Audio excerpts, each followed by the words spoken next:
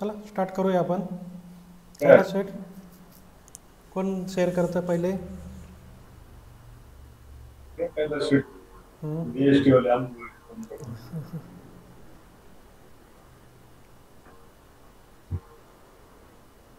कैला शेट आज बाहेर आहे काय?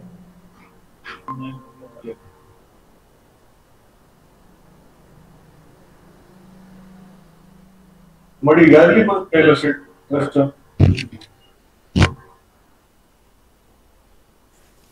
माईक बंद आहे त्यांचा.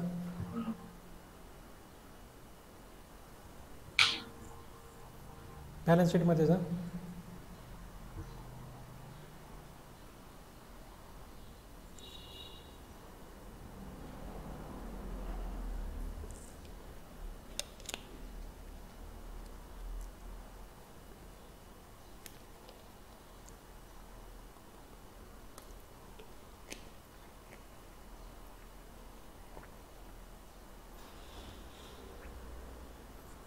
हां बॅलन्स शीटला ते एंटर प्रॉफिट अँड लॉस अकाउंटमध्ये जा.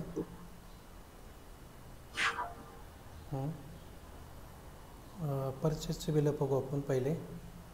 परचेसला एंटर द्या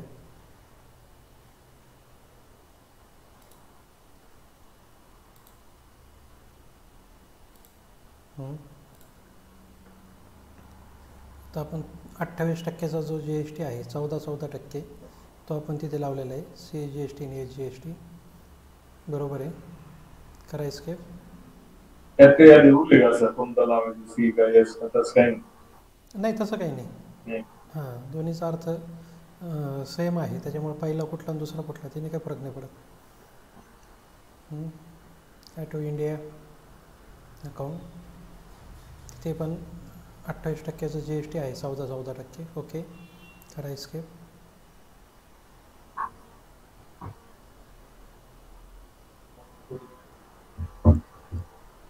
आता आपण सेल्समध्ये जाऊया.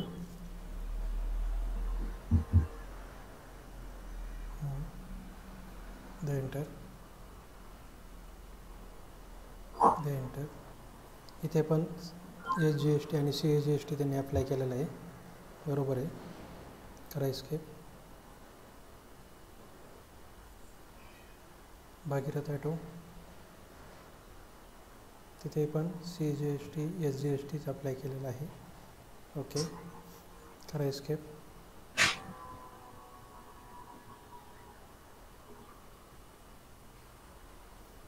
करा escape. आपण आता लायबिलिटीमध्ये जाऊ. करंट लायबिलिटी आता ड्युटीज अँड टॅक्सेसमध्ये जा. आता बघा. इथे तुम्हाला ड्युटीज अँड टॅक्सेस डेबिट साईडला दिसतात. सी जी एस टी आणि एस जी एस टी त्यापैकी कुठल्या तरी एकाचे. आणि सेम आहे. कारण आपण सेम घेतला आणि सेम दिलेला आहे. त्यामुळं. द एंटर आता इथे जर गेलो तर डेबिट साईडला आपल्याला तीन लाख एकतीस हजार रुपये डेबिट दिसतो आहे सी जी एस टी आणि क्रेडिट साईडला दोन लाख तीस हजार रुपये आहे. म्हणजे जो बॅलन्स आहे डेबिट बॅलन्स आहे म्हणून आपल्याला तो आपला जो जी एस टी आहे डेबिट साईडला आलेला आहे. दे एंटर आता पहा तुम्ही जो परचेस केला आहे परचेसच्या वेळेस सुरुवातीला जो जी एस टी पेड केला होता तो एक लाख सत्याहत्तर हजार एकशे अठ्ठावीस रुपये होता. आणि नंतर परत परचेस करताना एक लाख चोपन्न हजार दोनशे चोवीस होता. टोटल तीन लाख एकतीस हजार तीनशे पन्नास आपण G S T already paid केलेला आहे. नंतर आपण कलेक्ट करताना तो एका ठिकाणी अठ्ठ्याण्णव हजार रुपये कलेक्ट केला आणि दुसऱ्या बिलामध्ये एक लाख बत्तीस हजार कलेक्ट केला. टोटल दोन लाख तीस हजार रुपये आपला जी एस टी कलेक्ट झाला. पण ऑलरेडी आपण एक लाख रुपये जी एस टी ह्या महिन्यामध्ये पेड केलेला आहे असं आपण म्हणूया. त्यामुळे आपल्याला इथे जी एस टीचं रिटर्न दाखल करताना आपल्याला फक्त त्यांना सांगावं लागेल की आमचं G S T already paid आहे. करायचं स्केप हो. तेच एस जी एस टीला आपल्याला सेम फिगर दिसणार आहे. आणि सगळं डेबिट साईडला असल्यामुळं आपलं जे देणं आहे ते डेबिट झालं आणि क्रेडिट झालं. करायचं स्केप आणि आपला जो क्रेडिटर बॅलन्स ऑलरेडी जास्त होता म्हणून ते क्रेडिट साईडला आपल्याला at least G S T किंवा ड्युटीज अँड टॅक्सेस दिसलं. नाही तर आपल्याला ते डायरेक्ट ॲसेट बाजूला दिसलं असतं लायबिलिटी बाजूच्या ऐवजी? येतं लक्षात? Hello sir. कैलास शेठचा माईक बंद आहे. त्याच्यामुळे तुमचा आवाज नाही. आवाज येतो माझा हां आवाज येतोय ना कारण त्यांना स्केप करा एंटर करा. लक्षात येतंय ओके. ठीक आहे दुसरी कुठली कंपनी असेल किंवा दुसरं एंट्री असतील ज्याच्यामध्ये आय जी एस टी वगैरे यूज केलेला असेल तर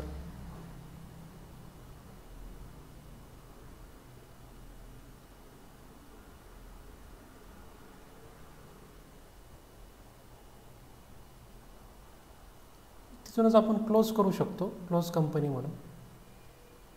स्टॉप शेअरिंग केलं त्यांनी डायरेक्ट तुमचा आवाज येत नाही कैलास शेठ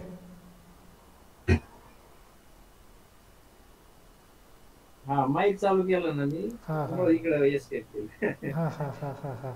आता आय जी एस टी केलंय मी एका उदाहरणात. हा. पण सेल करताना मी वेगळं करायला पाहिजे होतं थोडं. नाही तसं काही नाही. ज्याच्यामध्ये तुमचा सेल जास्त आहे ना तिथे ऑटोमॅटिक जी एस टी जास्त लागणार आहे. हा, तुम्हाला दाखवू हां तसं असेल दाखवा ना काय प्रॉब्लेम नाही. आता जर आपण बाहेरच्या राज्यातून खरेदी केलं तर आय जी एस टी आपल्याला द्यावा लागेल. आणि आपण आपल्या गावातल्या कस्टमरला जर ते विकलं तर C S G S T S G S टीमध्येच आपण ते घेणार आहोत. तिथे लगेच आय जी एस टीच लागेल असं काही नाही? सेल करताना मी ते अठ्ठावीसनेच विकलं असं झालं. हां हे ठीक आहे ठीक आहे काय प्रॉब्लेम नाही. हे लक्षात घ्यायचं फक्त. जरी समजा आपण बाहेरचा माल आला तर आपण direct I G S T देणार आहोत. आणि ज्यावेळेस आपण गावातल्या कस्टमरला विकतोय म्हणजे आपल्याच राज्यातल्या कस्टमरला विकतोय म्हणजे तिथे C S G S T S G S टीमध्ये जाईल किंवा आपण आपल्याच राज्यातून माल खरेदी केला आहे आणि यदा कधीच आपल्याला बाहेर पाठवण्याची वेळ आली तर त्यावेळेस आपल्याला तिथे आय जी एस टी लावावा लागेल. जरी आपण. C G S T G S T लागलेला असेल घेताना. म्हणजे तो वेगवेगळा असू शकतो. असं काही नाही की आपण घेताना जर आय जी एस टीमध्येच घेतलं आहे म्हणून देताना आय जी एस टीचे द्यायचं आहे असं काही रूल नाही आहे रूल काय आहे? आपण घेताना जर परराज्यातून घेतलं आहे तर आय जी एस टी लागणार. आणि विकताना जर आपण परराज्यात विकलं आहे तरच आय जी एस टी लागणार. नाही तर C S G S T S G S टीच आहे ओके हो करा ना.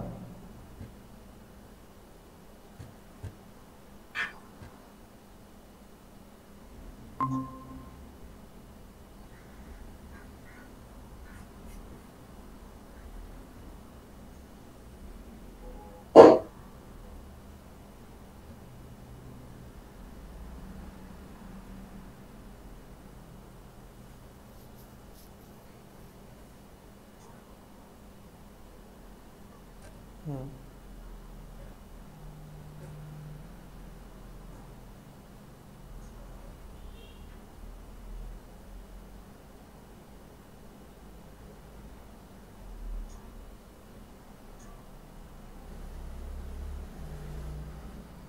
प्रॉफिट अँड लॉस हां प्रॉफिट अँड लॉस अकाउंटला जा म्हणजे आपल्याला सगळे बिलं दिसतील एका ठिकाणी. परचेसला जा. द्या इंटर द्या इंटर हां पहिले आपण आता डिस्काउंट पण दिलेला आहे. आणि आपल्याला जी एस टी पण बारा बारा टक्केचा ॲप्लाय झालेला आहे.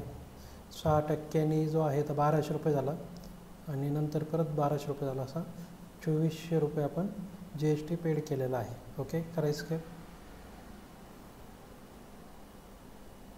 पुढचं बिल दहा हजाराचं बिल आहे. पाच पाच टक्क्याचा जी एस टी आहे. अडीच अडीच टक्क्याने तो C G S T S G S टीमध्ये कन्वर्ट झाला. अडीचशे अडीचशे रुपये टॅक्स लागलेला आहे. ओके करायचं काय सागर अकाउंट इथे आय जी एस टी आपण पेड केलेलं आहे, बारा टक्के डायरेक्ट ओके गुड करायचं काय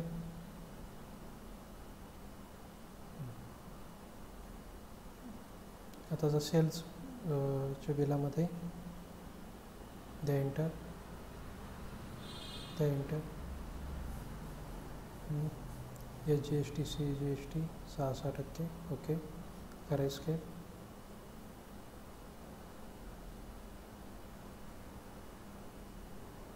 सड़सठ टक्के राइस के।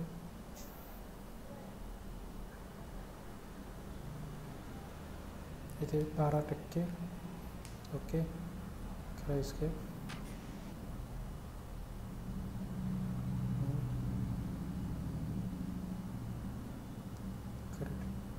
राइस के। आता तो direct current liability current liability तेच बॅलन्स शीटमध्येच आता आपल्याला इथे वेगवेगळे प्रकार पाहायला भेटत आहेत आता पहिल्यांदा आपण आय जी एस टीमध्ये जाऊया.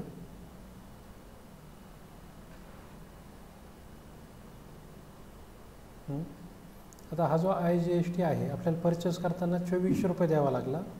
आणि सेल करताना आपण छत्तीसशे रुपये घेतलेला आहे. बरोबर आहे? म्हणजे आता बाराशे रुपयाचा जो डिफरन्स आहे तो आपल्याला आर थ्रीमध्ये म्हणजे वीस ते तीस तारखेमध्ये आपल्याला तो पे करावा लागेल आणि त्याचा रिटर्न दाखल करावा लागेल. तर तो बाराशे रुपये आपल्याला देय असेल इथे. बरोबर आहे? याच्या लक्षात फरक कसा निघतो तो? हो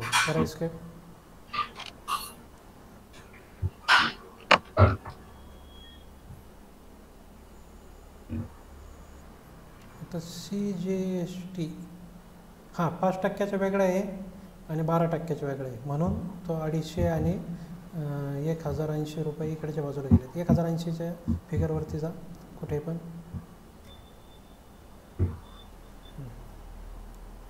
आता इथे जे आहे बाराशे रुपये आपल्याला बारा टक्क्याचा जो जी एस टी आहे तो आपण पेड केलेला आहे. पण कलेक्ट करताना बावीसशे ऐंशी कलेक्ट केला. त्यामुळं एक हजार ऐंशी रुपये आपल्याला दे. क्रेडिट साईड म्हणजे आपल्याला दे नाही. करायचं काय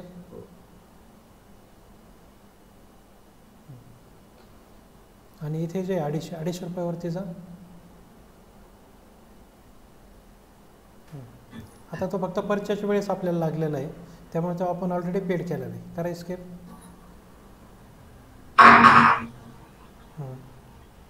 पुन्हा एकदा स्केप करा. आता इथे ड्युटीज अँड टॅक्सेसमध्ये जर गेलं तर आपल्याला डेबिट साईडला पाचशे आहेत. आणि क्रेडिट साईडला किती आहेत? तीन हजार तीनशे साठ रुपये. मग त्यामुळं आपल्याला जर समजा एकत्रच सगळा जी एस टी जर पाहायचा असेल तर आपण एक काम करू शकतो जी एस टी नावाचा ग्रुप तयार करू शकतो. जी एस टी नावाचा जर ग्रुप तयार केला आणि नंतर मग ज्यावेळेस आपण C G S T H G S T वगैरे घेतो तर त्याला जी एस टी ग्रुप जर दिला आपण तर आपल्या ड्युटीज अँड टॅक्सेसमध्ये एंटर केलं का सगळे जी एस टी पाहायला भेटतील. आणि सगळ्या जी एस टीचं जे डेबिट क्रेडिट बॅलन्स असेल आता ॲक्च्युली आपल्या इथे दोन्ही क्रेडिटरचा बॅलन्स एकत्र दिसतो आहे क्रेडिट साईडला दहा हजार चाळीस आणि त्यातून पाचशे डेबिट दिसतात तर त्याच्याऐवजी आपण आता वरचा विचार करूया. तीन हजार तीनशे स- साठ आहेत ना ते? हं? हो. मायनस पाचशे म्हणजे साधारण अठ्ठावीसशे साठ रुपये आपल्याला ह्या महिन्यामध्ये जी एस टी द्यावा लागेल. येते लक्षात हो. म्हणजे ज्यावेळेस आपण रिटर्न दाखल करणार त्यावेळेस आपण ह्या सगळ्या गोष्टी ऑलरेडी आपल्या व्हेरीफाय झालेल्या असतील. पहिल्यांदा आपण एक ते दहा तारखेदरम्यान सेल डिक्लेअर केलेला असेल दहा ते वीसच्या तारखेदरम्यान आपण परचेस व्हेरीफाय केलेला असेल आणि जो काही डिफरन्स असेल तो एकवीस ते तीस तारखेदरम्यान आपण दिलेला असेल. सबमिट केलेला असेल. ओके हं, हं. करायचं काय? अजून आहे काही उदाहरणं? नाही दोनच केले मी. ओके ठीक आहे. ते ग्रुप करून पाहू का? हां ग्रुप करून बघितल्यास फायदा काय होईल? की आपल्याला एकाच ठिकाणी सगळं पाहायला भेटेल. तर त्यासाठी काय करावं लागेल? पहिल्यांदा ड्युटीज अँड टॅक्सेस नावाचा आपलं जी एस टी नावाचा एक ग्रुप तयार करावा लागेल. त्याला अंडर ड्युटीज अँड टॅक्सेस घ्यावा लागेल. किंवा त्याला डायरेक्ट नाव द्या goods and service tax G S T म्हणण्यापेक्षा पूर्ण नाव द्या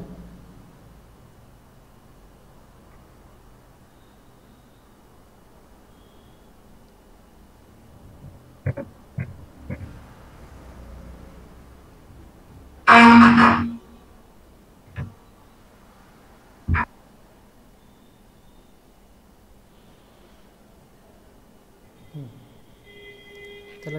ड्युटीज घ्या.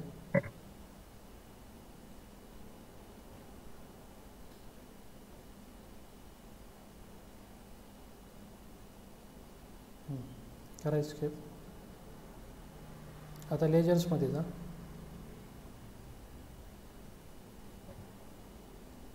अल्टरमध्ये जा. आणि जेवढे काही जी एस टीचे लेजर्स आहेत त्याला ड्युटीज अँड टॅक्सेस ऐवजी जी एस टी म्हणा गुड्स अँड सर्व्हिस टॅक्स खाली.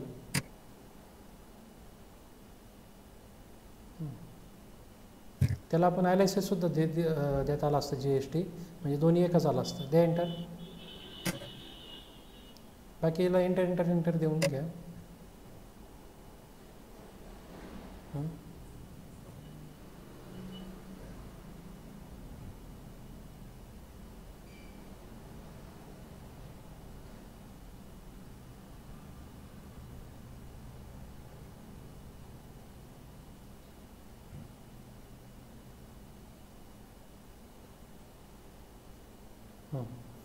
खाली काही आहेत दोन लेजर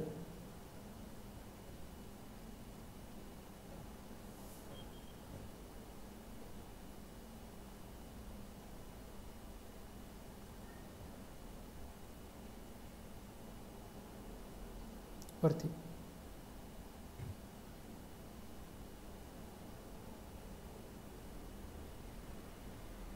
करा escape. Balance sheet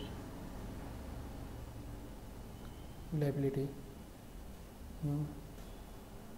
duties and taxes enter आता इथे दिसते तुम्हाला गुड्स अँड सर्व्हिस टॅक्स बरोबर आहे? आता इथे फक्त लायबिलिटी साईडला फक्त हेच गोष्ट राहिली. द्या एंटर आणि त्याच्यामध्ये गेल्यानंतर सगळे जी एस टीचे प्रकार तुम्हाला पाहायला भेटतील. हो हं. या पद्धतीने आपण ग्रुप सब ग्रुप सगळ्या गोष्टी आपण यूज करू शकतो. आता हे जे सगळे टूल्स आहेत तुम्हाला आता वापरायचे कसे ते माहीत झालेले आहेत. आता त्याचा वापर कसा करायचा क्रिएटिव्हिटी तुमची लावून? तर ते तुम्ही करू शकता. का ज्यावेळेस आपल्याला वाटतं की आपल्याला ते ग्रुपच्या अंडर घ्यायचं तर आपण ग्रुप तयार करून ग्रुपच्या अंडर घेऊ शकतो.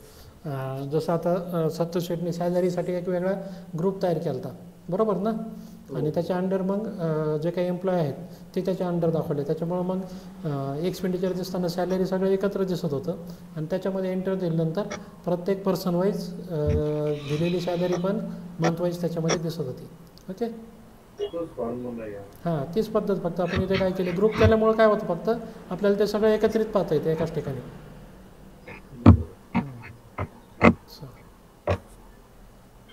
काही प्रश्न शंका?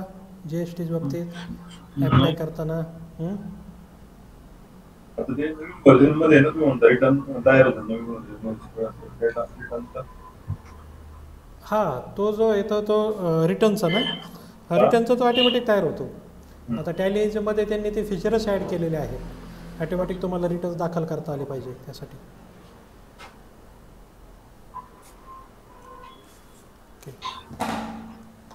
ओके ठीक आहे? हो हो. करा शेअर करा.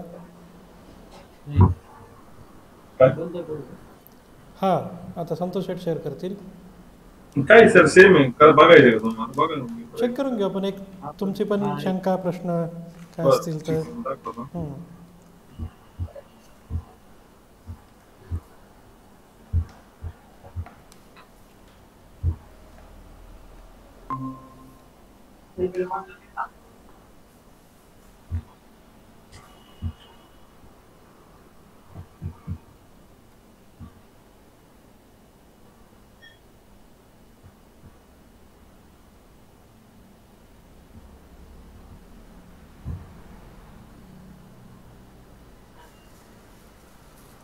अठ्ठावीस टक्केचं जी एस टी आपण वापरलेलं आहे. C G S T S G S T बरोबर आहे.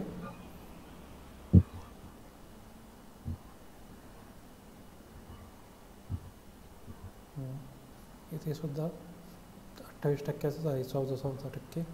करेक्ट करा स्केप सेल्समध्ये जा. इथे पण अठ्ठावीस टक्केच आहे. ओके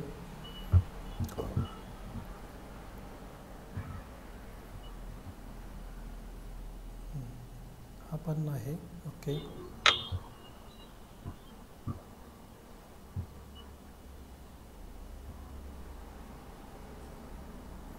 ओके आता आपल्या लायबिलिटी साईडला जायचं. बॅलन्स शीटमध्ये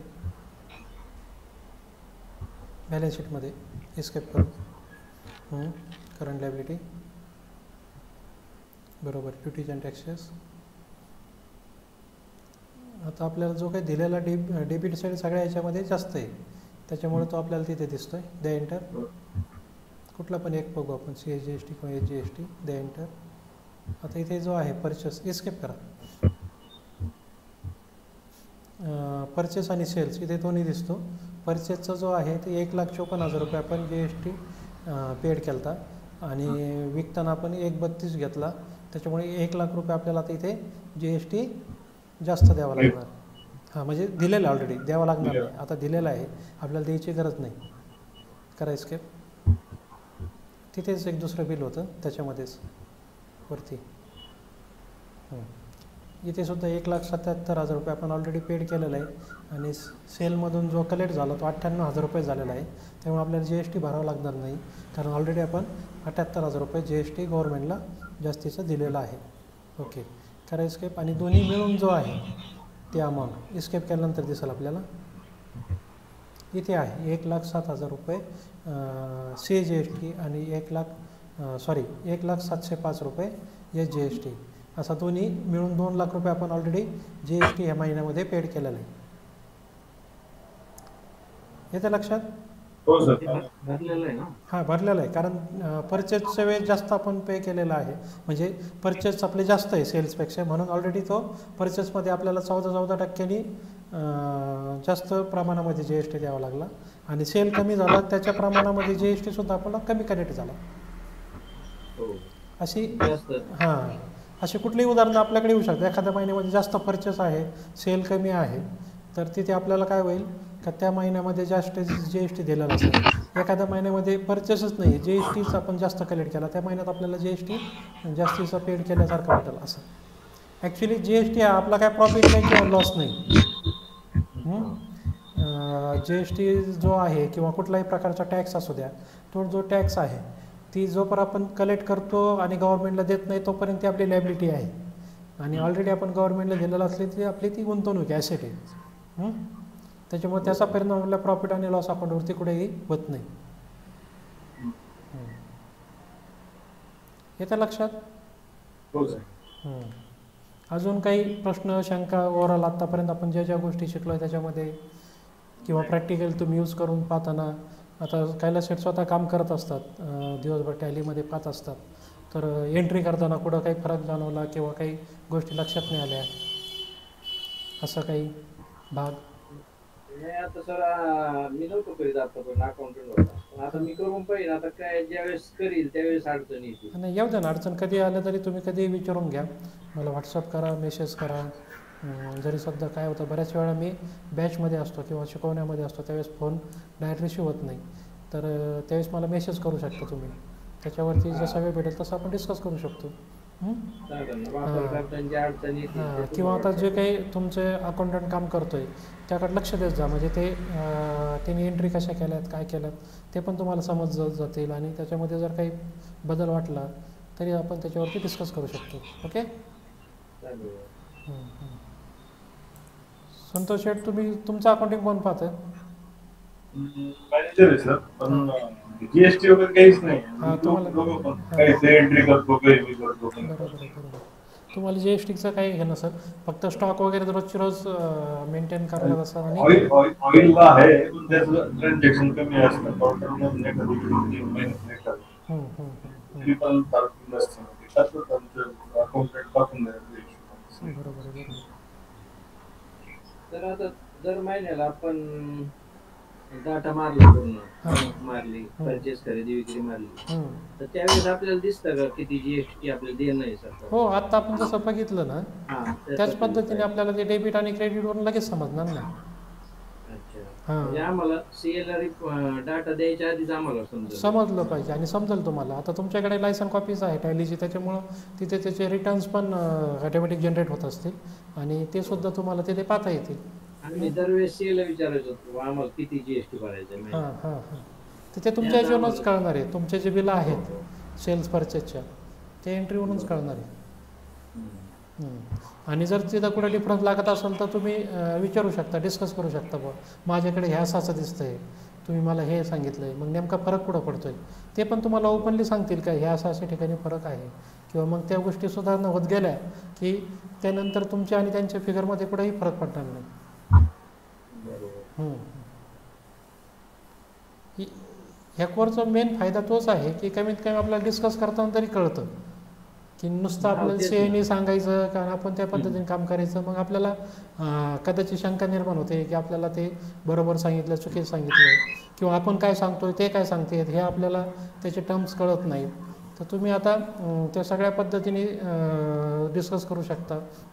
समोरच्याला पण प्रश्न विचारू शकता की हे असं असं आहे.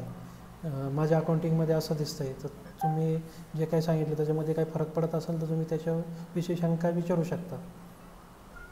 हो. आणि डिस्कस करू शकता त्याविषयी. बरोबर आहे.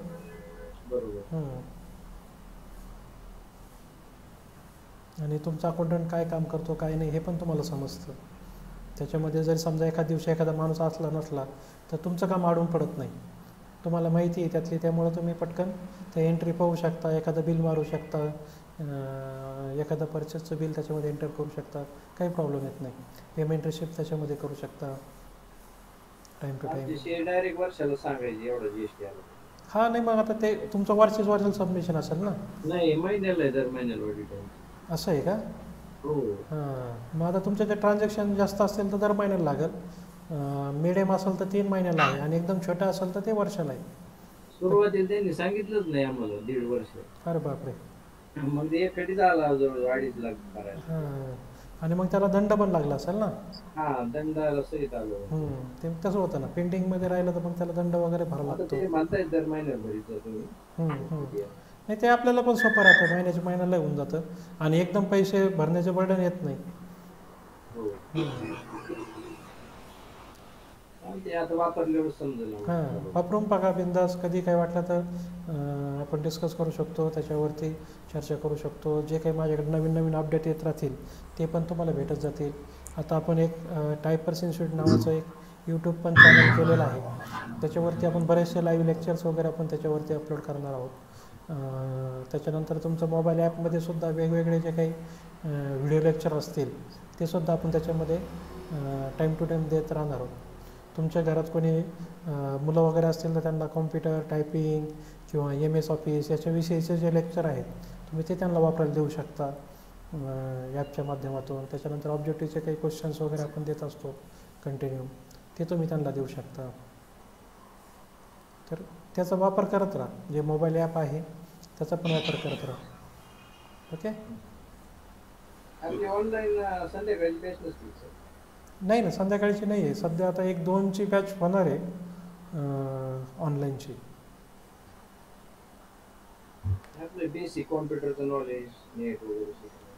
हां आता सध्या काय आहे की आता चार वाजेपर्यंतच आम्हाला इथे क्लास ओपन करायला परवानगी आहे ना.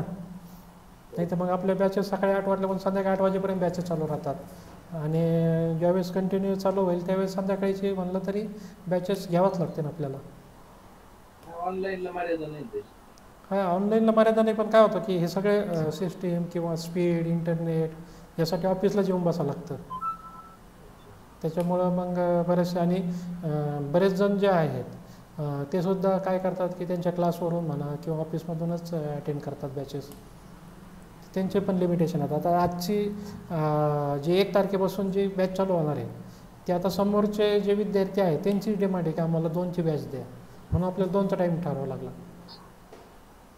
असं आहे. दोन वाजता. टॅलीची बॅच आहे ती अच्छा म्हणजे हं, हं.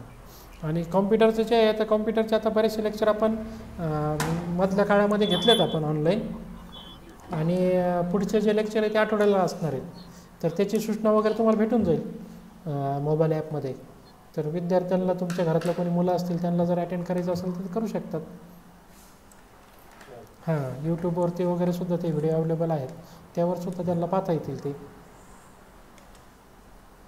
काय अडचण नाही. कारण आता हे जे काही लेक्चर्स वगैरे जे आहेत ते आपण ओपन ठेवलेले आहेत. जे प्रॅक्टिकल्स वगैरे जे आहेत तर जे आपले रेग्युलर विद्यार्थी आहेत तर त्यांना ते रेग्युलरली येऊनच करावे लागतात प्रॅक्टिकल्स लेक्चर्स तुम्ही कुठूनही अटेंड करू शकता कधीही अटेंड करू शकतात त्याला काही प्रॉब्लेम नाही. हां इतर म्हणजे आता त्याच्यामध्ये काय केलं आपण जो कॉम्प्युटरचा थेअरीचा जो भाग असतो ना ते लेक्चर्स आपण ओपनच ठेवलेले आहेत. यूट्यूबवरती सुद्धा ते अवेलेबल असतात आणि जे विद्यार्थी आहेत ज्यांनी ॲडमिशन घेतलेले ते आपल्या डायरेक्ट गुगल मीटवरती येऊन इंटरॅक्शन करतात. त्यांचे काही प्रश्न शंका डाऊट असतील ते डायरेक्ट विचारतात. त्यांच्याशी डिस्कस करत करतच आपण ते लेक्चर पुढे घेऊन जातो. काय होतं मुळात मी नुसतं लेक्चर देणं आणि ते ऐकणं त्यापेक्षा तुमच्याशी मी डिस्कस करून तुमचे डाऊट्स क्लिअर करणं टाईम टू टाईम त्यामध्ये जास्त समजतं विद्यार्थ्यांना. आता जे बाहेर गावचे आहेत मग त्यांनी अं, बाहेरगावच्या विद्यार्थ्यांना सध्या आता यूट्यूबवरूनच त्यांना अटेंड करता येईल. कारण आता काय होतं टायपिंगचा जो कोर्स आहे ना तर तो प्रत्यक्षात पाठीमागं उभं राहूनच तुम्ही बोट कसं ठेवता? बाकीचे कोर्स करू शकता ना ते ऑनलाईन जर तुमच्याकडे घरी कॉम्प्युटर असेल आता जसं आता तुम्ही टॅलीचं केलेलं आहे तर टॅलीमध्ये आपण काय फक्त तुमची थेरी घेतली नाही. तुमचे प्रॅक्टिकल पण घेतले आणि ते चेक करून घेतले. तसं तुम्ही Word Excel PowerPoint M S Office हे जे कोर्सेस जे एम एस आय टी वगैरेमध्ये शिकवला जातात किंवा इंटरनेट एज्युकेशन आपण त्याच्यासोबत विद्यार्थ्याला एक्स्ट्राचं नॉलेज म्हणून फ्रीमध्ये देत असतो. तर हे सगळं प्रॅक्टिकली तुम्हाला यूज करून पाहता येऊ शकतं आणि तुम्ही केलेलं प्रॅक्टिकल्स आपण चेक करून घे घेत असतो टाईम टू टाईम टॅलीप्रमाणेच ते कोर्सेस तुम्ही करू शकता फक्त टायपिंगला काय होतं की प्रत्यक्षच विद्यार्थी समोर पाहिजे आणि त्यांनी ठेवलेले बोटं आणि त्यांनी केलेली प्रॅक्टिस समोर पाहता आली पाहिजे. म्हणून तो कोर्स डायरेक्टली ऑनलाईन करता येत नाही. बाकी सगळे कोर्सेस करता येतात हम्म, हम्म. शिकून घेता येईल हां ते शिकून घेता येईल काही प्रॉब्लेम नाही.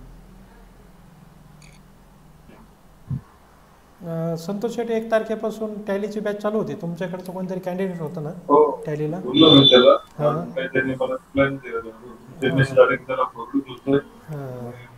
किंवा मला जर समजा त्यांना काही हे असेल समजा डाऊट वगैरे किंवा काही डिस्कस करायचं असेल तर मला फोन करायला सांगा. हो, मी. बोलतो त्यांच्याशी. हो. हं? Okay okay. तर जीएसटी टी काय? डायरेक्ट पे करता येतो गव्हर्नमेंट डायरेक्ट पे करतात ना त्याची वेबसाईट दिलेली आहे ना. हं. असं याला विचारलं हां सी एला विचार म्हणण्यापेक्षा त्याची जी एस टीची वेबसाईट लागली तर मी तुम्हाला शेअर करेल शोधून. त्याच्यावरती जाऊन तुम्हाला त्या तुमचे बिलं किंवा तुमचे रिटर्न्स तुम्हाला ती टॅलीनी फॅसिलिटी अशी दिलेली आहे तुम्हाला डायरेक्टली ते रिटर्न दाखल करता आले पाहिजे.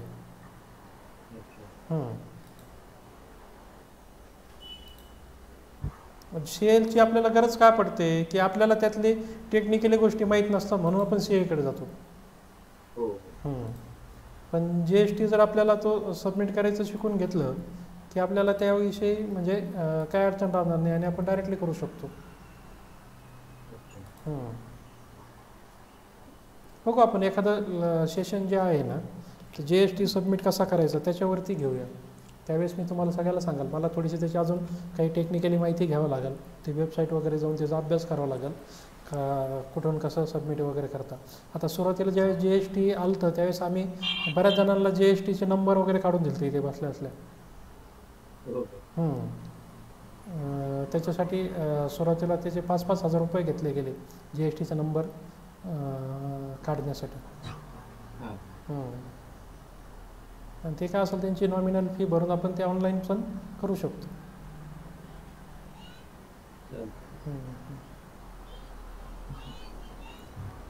ठीक आहे. म्हणजे आज क्लास संपला आपला अधिकृतरित्या क्लास संपलेला आहे समजा आत्तापर्यंतचा प्रॅक्टिकल सेशन सगळे झालेत. जीएसटीचं सेशन ऑनलाईन सेशन? जीएसटीचं सेशन म्हणतात ना तुम्ही? हां. ते आपलं? हां एकदा मी त्याची अजून माहिती घेतो. की ते आता यांनी जे प्रश्न विचारला ना की ते. आपल्याला ऑनलाईन कसं सबमिट करायचं वेबसाईटवरती हां.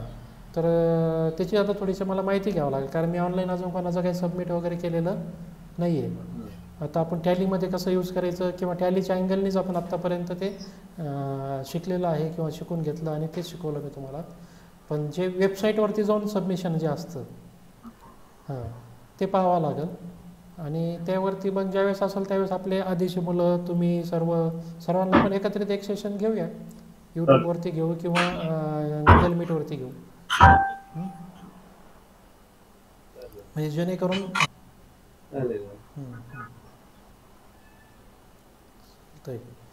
ठीक आहे. नेहमी भेटत राहू बोलत राहू. मेसेज करत राहा. व्हॉट्सअप करत राहा. आपलं G dot page slash typers नावाचं एक पेज आहे. ते मी तुम्हाला शेअर करेल. त्याच्यावरती तुमचे रिव्ह्यूज द्या. किंवा फेसबुकचं पेज आहे त्याचे रिव्ह्यू देऊ शकता. जे डायलचं एक पेज आहे त्याचे रिव्ह्यू देऊ शकता. किंवा आपलं जे मोबाईल ॲप आहे त्यावरती सुद्धा तुम्ही तुमचा क्लास कसा होता काय होता किंवा तुम्हाला कसा वाटलं तुम्हाला खरोखर नॉलेज भेटलं नाही भेटलं जे काही वाटलं ते तुम्ही सांगू शकता. फक्त सांगताना खूप छान छान किंवा खूप वाईट असं म्हणण्यापेक्षा तुम्ही जे काही ज्यामुळं तुम्हाला ते चांगलं वाटलं तो शब्दामध्ये मांडा अनुभव मांडा तुमचा. की ह्या गोष्टीमुळे मला हा क्लास चांगला वाटला किंवा वाईट वाटला.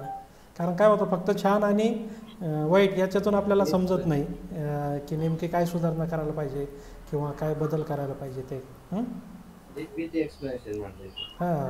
नाही. हां आवडलं म्हणजे तरी सांगायचं. त्यातून सुधारणा होते ना. हो. नाही म्हणजे कन्स्ट्रक्टिव्ह असतं. त्यातून आपल्यामध्ये बदल करता येतात.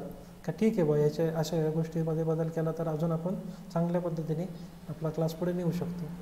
ते सुद्धा फायद्याचंच आहे. ओके हो सर चला. थांबायचं